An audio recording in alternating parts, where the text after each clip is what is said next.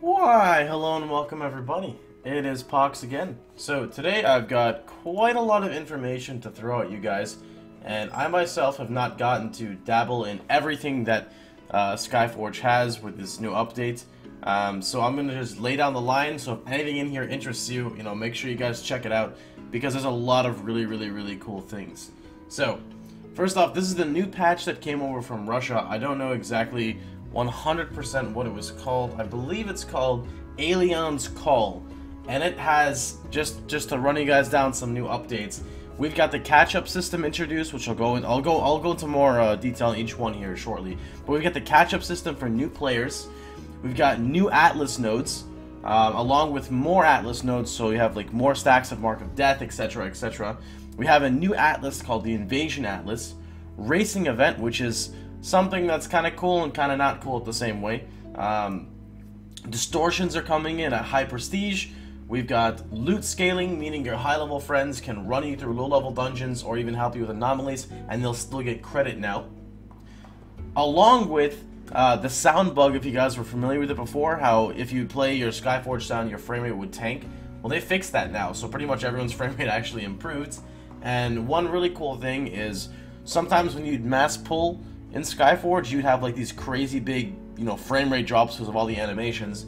They've now, I don't know exactly how they did it, but everything kind of goes robotic on the monster sides just to make sure that your frame rate is keeping, you know, at a decent pace. So overall, there's quite a few things, and there's probably even more stuff. You know, I couldn't catch everything at once. Uh, for example, there's one other thing, uh, where is it? If you look at the marketplace, you look at the invasions, you can actually buy higher tier quality health potions uh, without spending any money anymore whatsoever. Oh, I forgot one more thing. How, how could I forget the most important thing at all? Cores are now actually, anyone who spent uh, Argents on cores, all cores have been refunded. If you press F9 when you log into the game, you'll get all your Argents back for your cores. And instead, they introduced something called the Vector system. And that's where we're going to start right here, as you can see.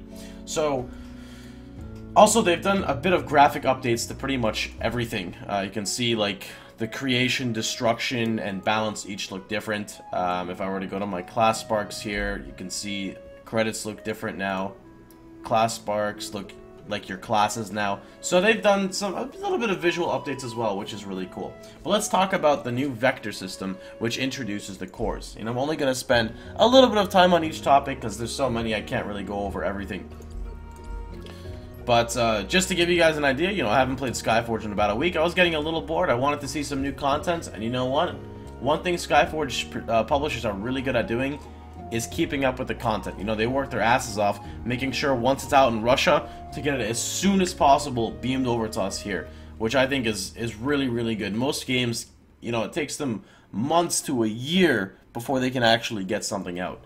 So, Without further ado, boys, let's get into the vector system. Let me just make sure this isn't too loud. That's a little too loud. Alright, we're good. So, the vector system... How do you play this game again? Okay, we got it. Now, the vector system is a new system where you basically have vectors of destruction, creation, and balance. And there's seven of each one, alright? So if I were to go to destruction, for example, and you click it, you can see where all the destruction ones are located. Now, it doesn't take anything to unlock them. You just click to unlock it, and that's it, right? So the way this works now is you actually have to pick up the um, you pick up the little node. So say destruction. You choose how you want to scale it, whether you're might, strength, luck, uh, valor, etc. Right? So you pick your main stat um, and then you obviously you're going to get might for this one. Now, vector of creation is going to be stamina plus the stat of your desire. Balance, I believe, is might, and then it globally gives you to all your stats. I could be wrong there, but you know, like luck, strength, spirit, uh, valor, etc. So let's start with uh, destruction to explain it. So now you actually have cores that you farm. There's two different types of cores. There are cash shop cores, which means you can buy them if you want, uh, and they're five times cheaper to insert, which makes no difference. And then you have your regular Ether cores. So the only point you would get by buying Ether cores here is by bypassing your credit cap, which is going to catch up to at any point, I believe. So they're adding a little bit more incentive if you want to put some money into the game. You can get slight advantages. I don't see this being really that big of a deal though, because you can you just gotta devote your credits towards it. That's all. Um, so ether cores also can be found in dungeons now as well. You can pretty much find ether cores all over the place, which is really cool because um, previously, if you wanted to efficiently crap your credits, crap your cap your credits, you wouldn't pick up white loot, and it would be it would suck because you like never see greens. Well, now the same thing would apply, um, but except you're getting ether cores as well, so you're not just getting pretty much nothing. I really, really, really wish Skyforge would implement an option to disable the, the ability to gain credits, like a, like a box. You can just be like, I don't want credits anymore, and you can take it off whenever you want. Uh, just because I think it's still really silly for people like who want to min-max the game to not pick up certain loot. It just doesn't make any sense to me. You know, it, it's that's ruining gameplay in a way. So I really feel like instead of just min-maxing, because this is a global benefit to everyone, just allow an option that disables the game the ability to gain credits. So anyway, the way this is going to work is you've got um, you've got might as your main stat and strength as your substat. This is how it was explained, so again, some things may be incorrect, so I do apologize. But basically, you upgrade, um, you upgrade them, and then when you get to your rank and you upgrade, uh, that's where you get a big chunk of your stats. Now, as you're doing this, for each one that you have unlocked, you gain extra, you gain however much might you had on the first one to all of them. So the might is like shared between each bubble. But the strength is just, is only on the upgrade bonus. So if you if you're getting 700 might from one, that's 7, 14, 21, 28, 35, 42, 49. That's 4,900 if you have all of them unlocked. Same thing with, you know, balance, or sorry, balance is a little different because it's, it's pure stats. Um, and creation would be with stamina. And then you would just get, you know, however much, seven, you just get like 700 uh, of your substat, which would be strength.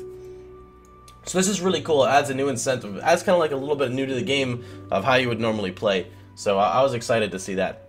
So that's off the list. Next up, we're going to talk about the catch-up system, which I can't unfortunately show you because I don't need to catch up to anyone. But the way the catch-up system works is I cannot give you, again, 100% on everything. But I was told that the way it works is if you look here, I've got like, for example, these are the invasion currencies that are popping up. You know, I've got my anomalies there. I've got holy text here. We've got, uh, what else? My silver pommel right here on squad. You would get a new thing that would pop up, right? And what it does is it will add to your maximum cap. So instead of getting, not instead of getting, but you just have an additional thing. So say you're running it and you have, uh, let's look at squad, Oki Island. Your Oki Island could have some weird symbol by it. And basically what that symbol would be is it'll say like sparks of, of evolution increased by 1,800. You're not actually getting 1,800. It's it's allowing you to gain 1,800 more uh, of that type. And I thought that was that's really cool because it still make it means you gotta work for it, but it's giving you the ability to just you know keep on going and going and going. All right. Next up, new Atlas nodes. I probably should have done this before. Is what happens when you just wake up, guys. All right. So if I were to press K, is it K? Here we go, symbols. There are a lot of new symbols that came out. If you look, um, yeah, this is a lot bigger than it was before.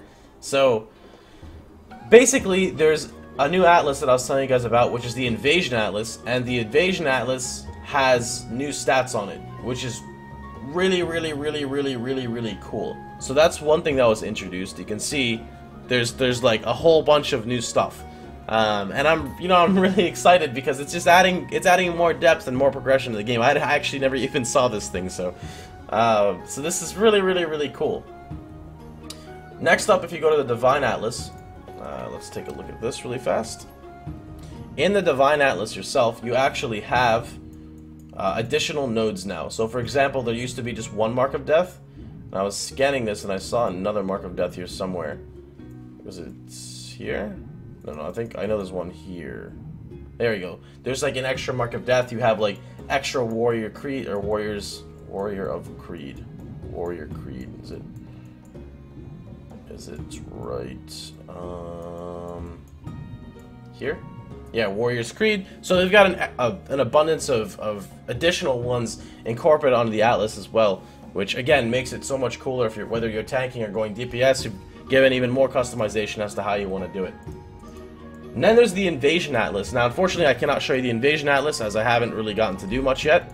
I'm really excited to play. I'll be playing Skyforge all day today, uh, if you guys are seeing this video. Alright, so we've got, uh, let's see, where is it again? We've got a new one called, here we go. So we've got the Victor's Medals, which I just showed you guys, and then you've got pretty much every every uh, mob's race. So you've got Gorgon, Gorgonide tokens.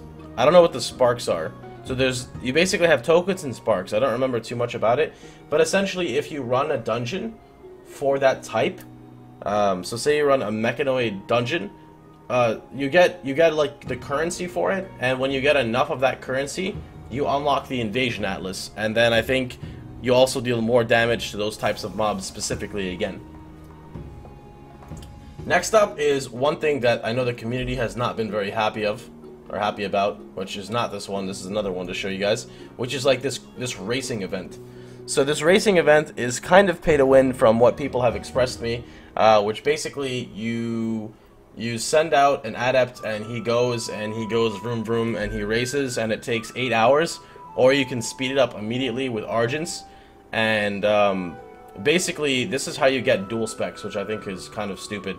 So um, to get 150, I was told it takes pretty much almost like perfection, like to log in three times a day every eight hours to do it, um, and then you can end up getting your second set of abilities.